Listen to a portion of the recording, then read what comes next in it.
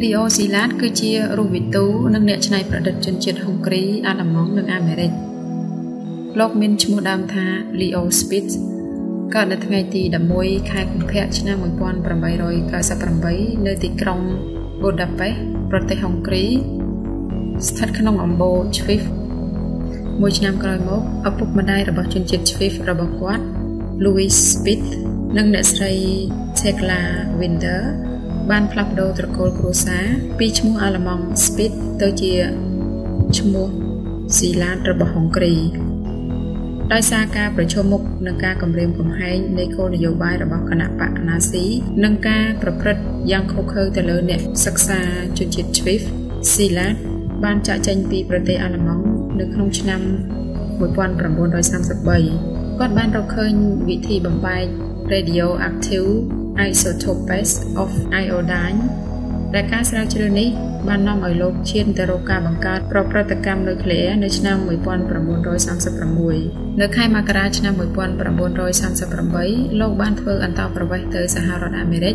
ដែលនៅទីនោះលោកបានបន្តការស្រាវជ្រាវរបស់លោកទាក់ទងនឹងប្រតិកម្មនុយក្លេអ៊ែរពេលនោះដែរលោកក៏ឆ្លៀតបង្រៀនសិស្សនៅសាកលវិទ្យាល័យកូឡុំប៊ី ក្នុងទីក្រុងញូវយ៉កដើម្បីរកកម្រៃបន្ថែម នៅពេលមានព័ត៌មាននៅក្នុងឆ្នាំ1939ដែលផ្សាយថាអ្នកវិទ្យាសាស្ត្រអាល្លឺម៉ង់បានរកឃើញ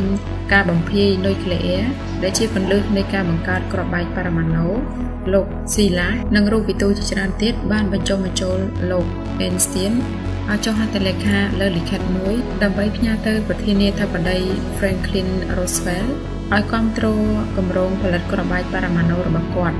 បន្ទាប់ពីឃើញសម្បត្តិរួមគ្នារវាងស៊ីឡាតនិងអេនស្ទៀននិងខ្លាចអាល្លឺម៉ង់ផលិតក្របបែកបាណាណូបានមុននោះប្រធានាធិបតីអាមេរិក Roosevelt បានគ្រប់គ្រងទាំងស្រុងនិងបង្កើតជាក្រុមមួយដាក់ឈ្មោះថាគម្រោង Manhattan ដែលមានកម្មករវិស្វករនិងអ្នកវិទ្យាសាស្ត្ររាប់សែននាក់ដែលភាគច្រើនជាជនជាតិអឺរ៉ុប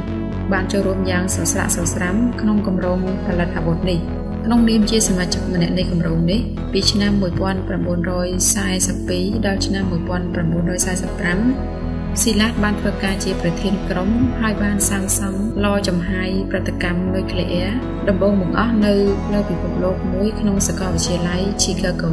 របបកំហើញនេះបាននាំឲ្យមានការផលិតនិងសាកល្បងគ្រាប់បែកបរមាណូដ៏ជោគជ័យជាលើកដំបូងនៅថ្ងៃទី16ខែកក្កដាឆ្នាំ1945បន្ទាប់ពីសាកល្បងដ៏ជោគជ័យលើការបំផ្ទុះគ្រាប់បែកបរមាណូនេះស៊ីឡាតក៏បានផ្ញើលិខិតមួយទៅប្រធានាធិបតីអាមេរិក ដោយការនោះ Harry Truman ជាអ្នកដឹកនាំកុំឲ្យប្រើអាវុធដ៏សាហាវនេះទៅលើប្រទេសជប៉ុនទោះជាយ៉ាងនេះក្តី Harry Truman មិនទទួលយកសំណើនោះឡើយនិងបានបញ្ជាឲ្យទម្លាក់នៅទីក្រុង Hiroshima និង Nagasaki យ៉ាងឃោរឃៅ